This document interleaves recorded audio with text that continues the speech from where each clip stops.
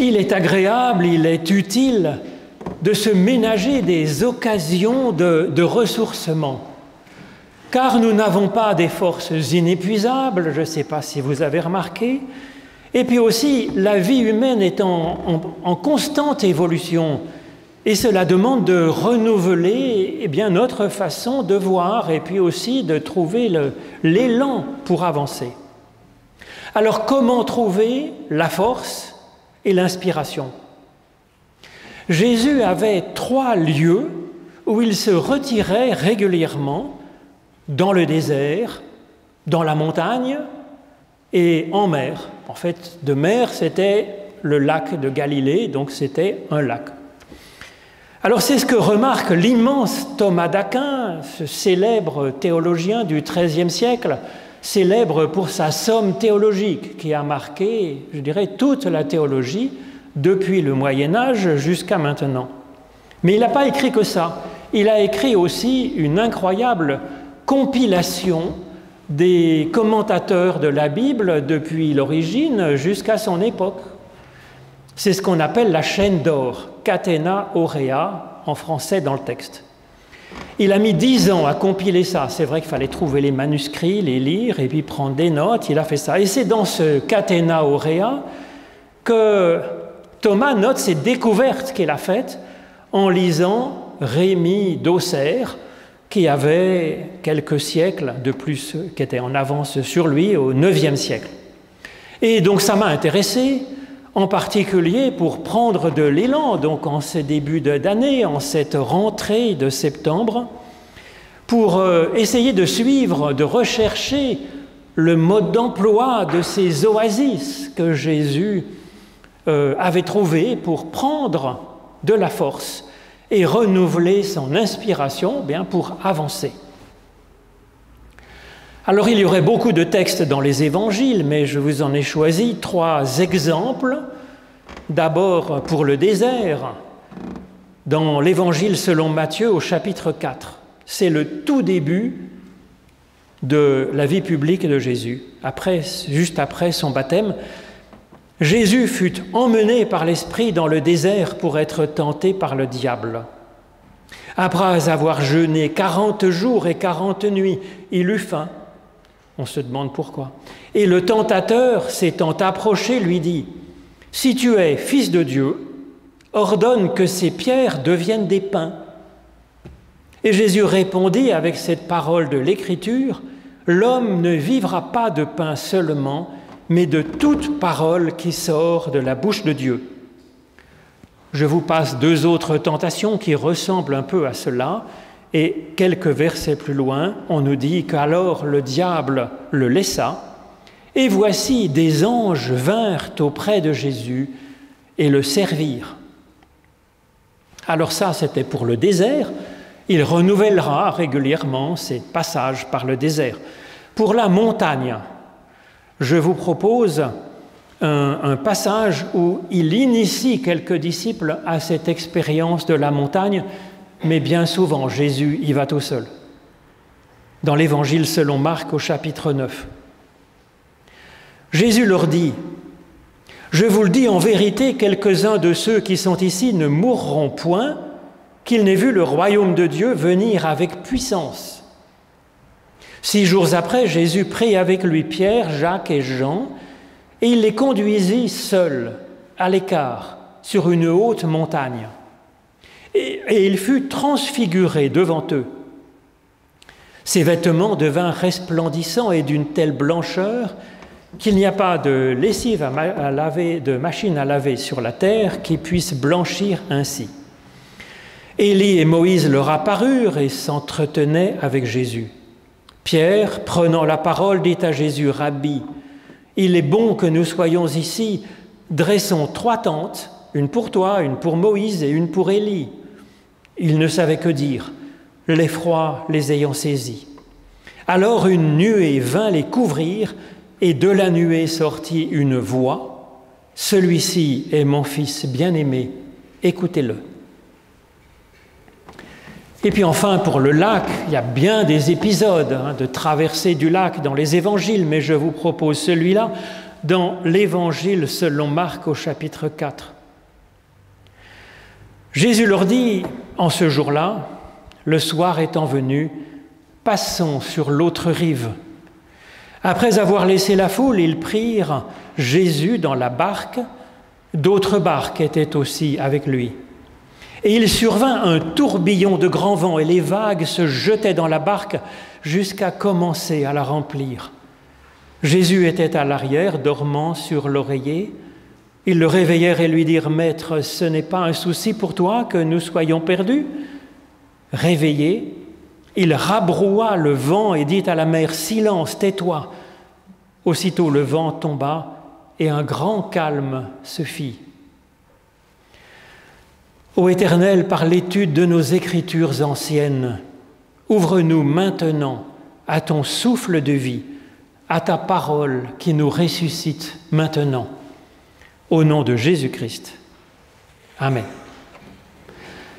Nous voyons effectivement dans les, dans les évangiles Jésus se retirer souvent seul, à l'écart, dans le désert, en montagne ou en mer. Alors il le fait quand il est chargé, quand il est menacé, il le fait avant chaque changement d'orientation dans son ministère, dans sa vie, il le fait à temps et à contre-temps, même quand il est surchargé de boulot, ou peut-être précisément quand il est surchargé de boulot, d'épreuves. Pourtant, Jésus est le Christ.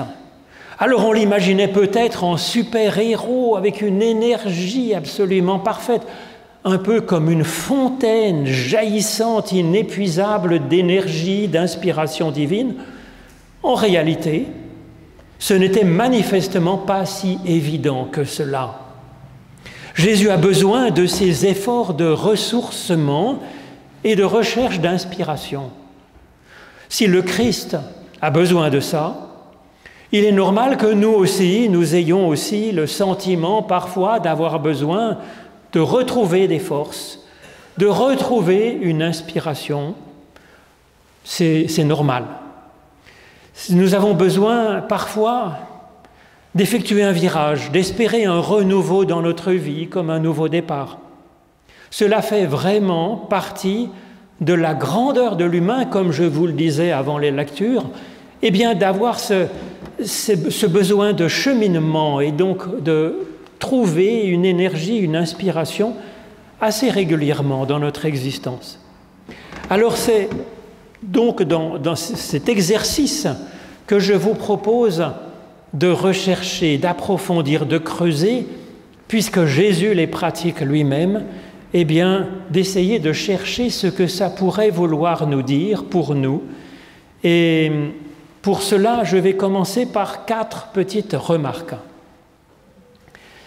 D'abord, Jésus ne se contente pas d'un unique lieu de ressourcement, mais il en a besoin de trois différents on aurait pu imaginer que pour se connecter à cette source qu'est Dieu, c'est comme de brancher une prise dans le secteur, que ce serait la foi. Voilà, on dit à Dieu, oui, je prends euh, le salut de Jésus-Christ pour moi et que ça suffit. Ben, c'est plus compliqué que ça, visiblement.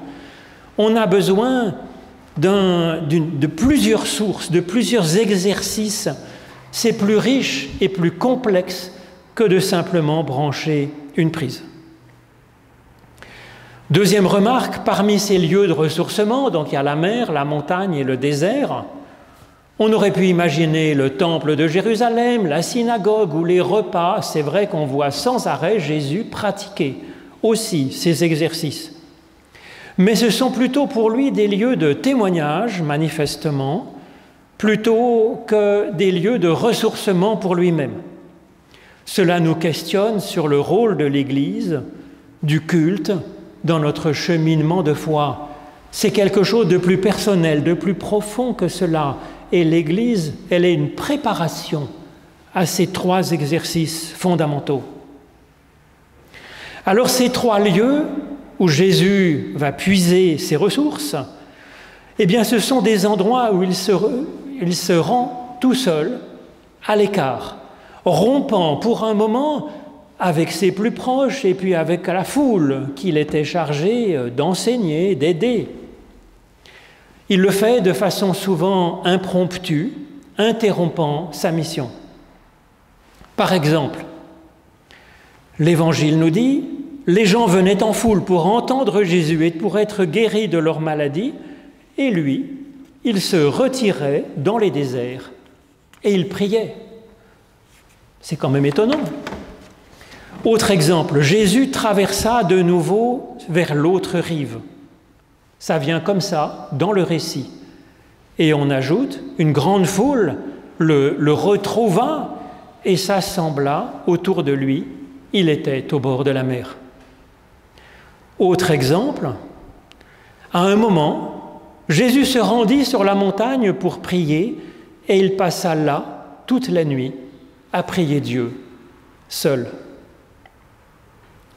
Jésus donc se retire ainsi, seul, à l'écart. Bien souvent, dans les évangiles, ça vient émailler ce cours de, du récit de son existence. À côté de cela, il arrive que Jésus amène ses disciples faire l'expérience de ces temps de ressourcement dans le désert, dans la montagne ou sur la mer. Et donc, est-ce qu'on doit vivre ces moments de ressourcement seul ou en groupe?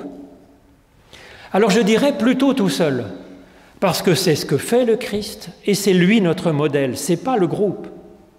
Le vivre en groupe, ça semble plus pour lui un temps de formation pour ses disciples. Et ainsi, il me semble que l'objectif avec ces temps de ressourcement, c'est d'arriver à sentir par nous-mêmes et pour nous-mêmes qu'il est temps de prendre un temps pour nous, seuls, à l'écart, afin de puiser des ressources nouvelles dans la montagne, dans le désert ou sur la mer. Ensuite, notre vocation, sera aussi peut-être de sentir qu'il y a un de nos proches qui pourrait être enrichi en découvrant ces exercices comme Jésus le fait découvrir à ses disciples. Et je crois que là, effectivement, l'Église peut aider à ces découvertes préparatoires, mais que le véritable exercice est tout seul. Enfin, quatrième et dernière remarque, avant de passer à l'analyse de ces trois lieux, la mer, la montagne et le désert ne sont bien entendu pas à prendre matériellement. Je suis jamais allé dans un désert personnellement. Évidemment, chacun de ces trois lieux, ça évoque un type d'expérience à s'offrir à soi-même pour vivre. Chacune de ces expériences demande évidemment un certain effort sur soi-même et parfois même aussi du courage, évidemment, mais de toute façon, rien dans la vie peut se faire autrement qu'en ayant un certain effort et un certain courage pour avancer dans quelque domaine que ce soit. On ne fait pas non plus de la musique, on ne fait pas non plus des progrès en sport avec un minimum d'effort et d'exercice. Donc d'abord commençons par le désert où Jésus se met à l'écart, puisque c'est la première expérience que Jésus fait, c'est ce que nous avons entendu, et c'est ce qui lui permet d'entrer alors dans sa mission de Christ. On voit que c'est à un moment charnière qu'il prend ce temps dans le désert. Alors les symboles évoqués dans ce récit sont assez faciles à comprendre pour un lecteur de la Bible car ils y sont très courants, au sens symbolique. L'esprit L'esprit, c'est une traduction approximative de, de, cette image qui est prise dans la Bible pour évoquer l'action créatrice de Dieu. C'est le souffle de Dieu, la rouarde de Dieu, mais Dieu n'a pas non plus de souffle matériel, évidemment. C'est donc, il s'agit là d'une image pour dire l'action créatrice de Dieu.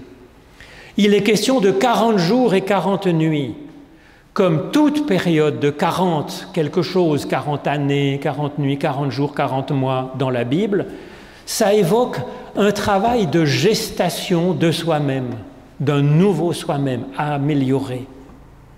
Quant au désert dont il est question, cette image est bien connue, bien sûr, dans la Bible, en particulier par ce célèbre jeu de mots. Désert en hébreu se dit midbar, c'est à la fois mine d'Abar en dehors de la parole, un lieu de silence, et Médaber, la parole éternelle de Dieu. Voilà ce que produit comme effet cette parole éternelle de Dieu en nous, cette parole ultime. Et donc quel sera notre temps de désert personnel? Avec quel effet bénéfique sur nous.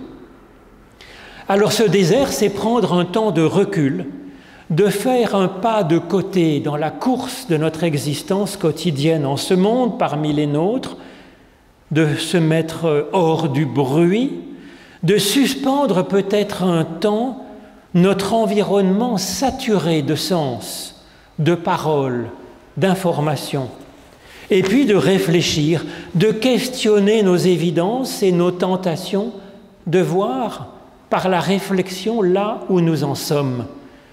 Alors c'est pas facile, c'est facile pour personne d'interroger nos évidences et de faire silence sur ce qui vient de l'extérieur. Nous voyons Jésus faire ce travail dans un dialogue intérieur, dans un débat, une délibération antérieure où s'entrechoquent des textes bibliques qui lui viennent à l'esprit. Et cela lui permet de discerner le meilleur du pire dans ce qui l'anime, dans ce qui l'inspire. C'est très utile, c'est très précieux. Avec ce résultat, nous dit ce passage de l'Évangile, le diable lâcha prise et des anges viennent le servir. Alors bien entendu, c'est là aussi, c'est trompeur comme traduction. Euh, en français courant, le diable, c'est ce qui disperse, ce qui éparpille. Ce n'est pas des créatures, le diable, c'est une fonction. Ce qui nous éparpille, nous déchire, nous morcelle.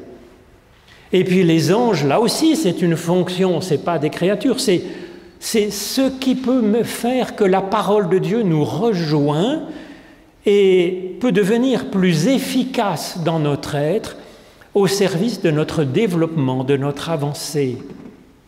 Et donc c'est cela le service rendu, c'est de débroussailler effectivement ce qui nous éparpille pour euh, vraiment nous concentrer, nous remettre à l'écoute du meilleur des soins de Dieu. Et Jésus est alors prêt à retourner dans la vie, dans son monde, vers les siens et vers sa mission. Mais ce n'est pas comme, un, pas comme un, vaccin une fois pour toutes. Jésus continuera à pratiquer cet écart dans le désert et par la suite il formera ses disciples à cette prise d'écart, de, retrait personnel. Alors l'écart par le désert, c'est prendre un peu de temps pour réfléchir par soi-même, sur soi-même, pour s'interroger, pour chercher avec l'aide de Dieu.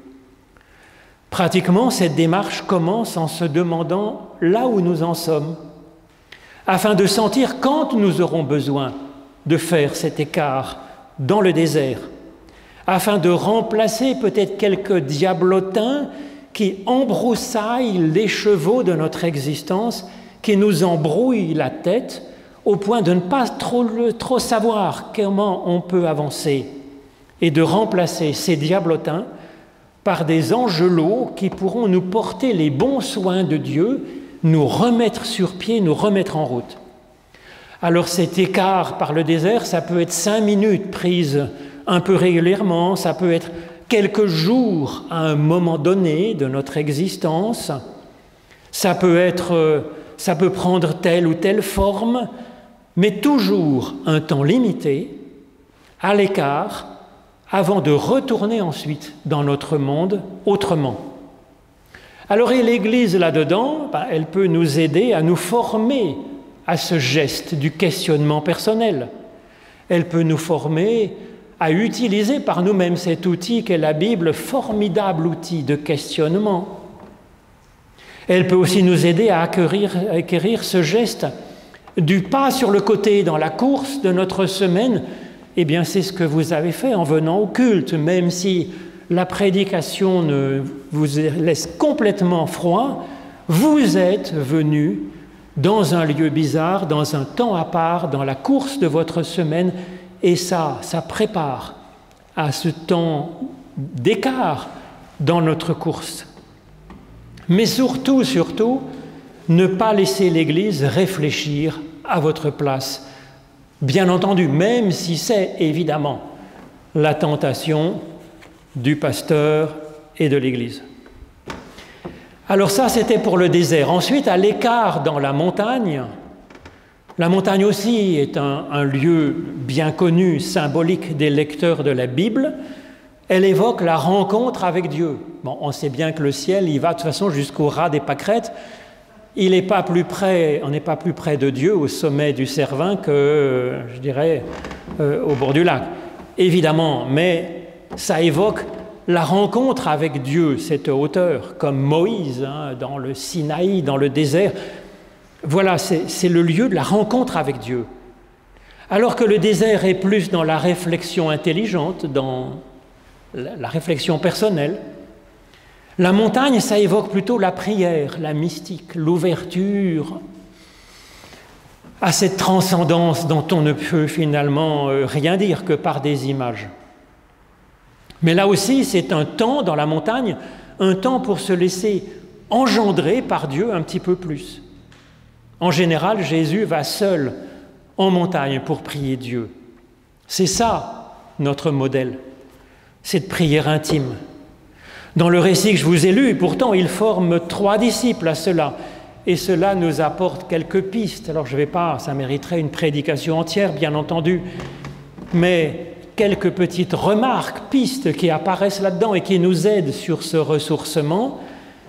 La haute montagne est qualifiée de six jours après.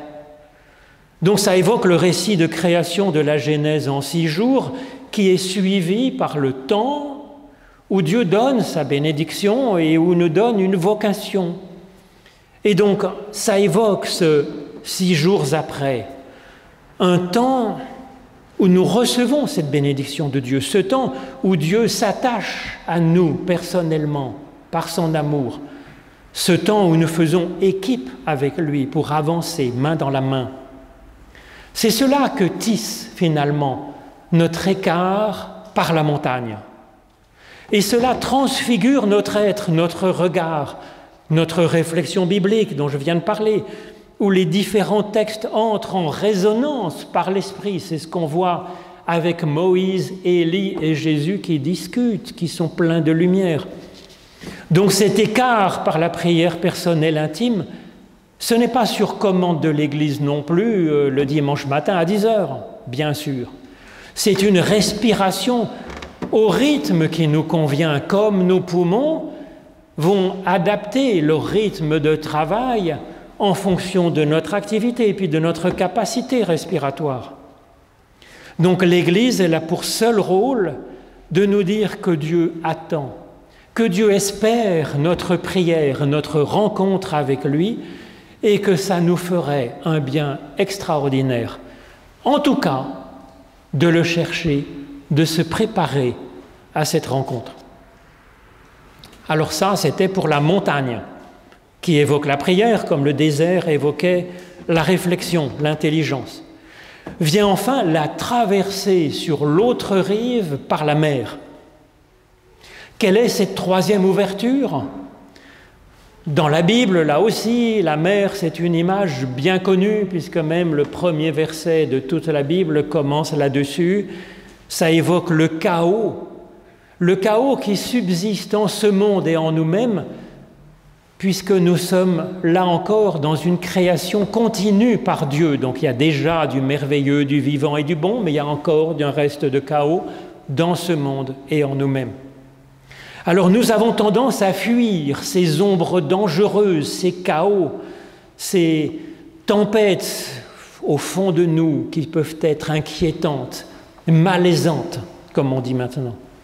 Or, pour avancer, eh bien, il est bon d'aller visiter notre part de chaos, parce que c'est justement là qu'il y a un travail de création à poursuivre.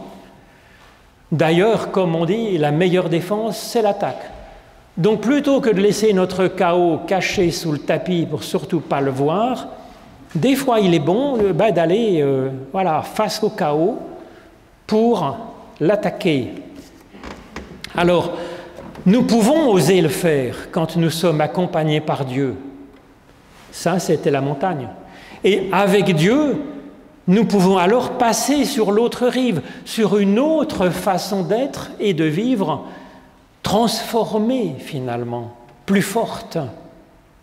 Alors cela demande de la prudence d'aller visiter notre chaos, bien sûr, c'est dans la mesure de nos forces et c'est dans la mesure du degré de tempête qu'est notre chaos. Jésus, lui, peut s'y aventurer tout seul, à pieds nus, marchant sur la mer, sur le chaos de son existence, et faire son chemin. Les disciples, ils y arrivent en fait, mais en associant à la fois la force de Dieu, en s'accompagnant par leur foi, même si elle est petite, à moitié endormie, comme nous le voyons dans ce récit, avec la solidarité du groupe d'amis, ils sont ensemble dans la barque, et puis aussi la technique humaine qu'évoque la construction d'une barque avec des rames, avec une voile. Et c'est ainsi qu'avec ces trois forces euh, mises en, en branle, c'est ainsi qu'ils passent sur l'autre rive. Alors passer sur l'autre rive, ça aussi, dans les cultures méditerranéennes, égyptiennes, grecques, mésopotamiennes, cette expression évoque le passage de la vie en ce monde vers la vie éternelle, vers les verts pâturages de l'autre monde. Mais c'est là que l'évangile est original, c'est que ce n'est pas un passage après la mort de notre corps que nous avons à vivre pour passer dans la vie éternelle, c'est dans notre vie présente, dès maintenant, que notre moi tourmenté, inquiété, en chaos, menacé, puisse effectivement avancer, ne serait-ce qu'un peu, dans une vie avec une nouvelle dimension, pacifiée, vivifiée, rayonnante, en aimant cette vie, avec une vie forte face à ce qui ne va pas, une vie peut-être aidante pour les autres qui sont aussi dans des tourments, une vie créatrice. Alors concrètement, ce tour de barque est le courage d'affronter nos démons, nos chaos, pas pour les ressasser, au contraire pour les traverser. Et là encore, cela demande de sentir nos forces pour aller visiter ce qui en nous est blessé, mort, troublé ou en désordre, de le faire en pensant à Dieu, c'est-à-dire en marchant main dans la main avec lui, ce Dieu que nous connaissons à peine ou que nous ne connaissons pas. Et puis d'oser alors mettre des mots sur nos tempêtes, les dire, nous les dire dans la prière, et éventuellement de pouvoir demander de l'aide à Dieu, Seigneur, sauve-nous, ou demander de l'aide à un ami avec nous dans la barque. Que Dieu nous soit ainsi en aide. Amen.